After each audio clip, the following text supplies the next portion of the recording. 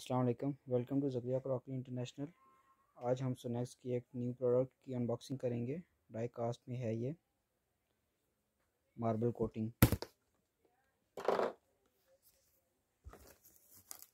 ये king sizes के pot हैं ग्लास लिड में। फोर साइजेस के पॉट हैं इसमें। ये इसका ग्लास लिड है।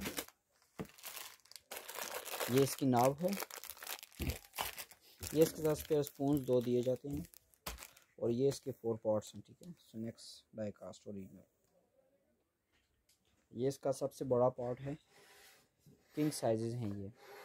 थर्टीन लीटर का ये है और इसका डायामीटर थर्टी टू सेंटीमीटर है, बत्तीस centimetre Sonex original die cast ये चार कुकिंग पॉट्स हैं फोर पॉट्स हैं विद ग्लास लिड ठीक है? ये इसकी नाब होती है, इसे कैरी करने के लिए। और ये सिरेमिक कोटिंग में है। ये मार्बल कोटिंग में भी आता है और सिरेमिक में भी। मार्बल कोटिंग में सिर्फ़ ब्लैक कलर आता है और सिरेमिक में रेड पिंक एंड ब्लैक तीन कलर्स आती हैं इसमें। सॉरी पर्पल ये है ब्लैक कलर ये मार्बल कोटिंग में है ब्लैक कलर सिरेमिक कोटिंग और मार्बल कोटिंग दोनों सेम होती हैं। क्वालिटी के लिहाज से सब सेम है ceramic and marble four pieces का सेट है, ये किंग साइजेस हैं।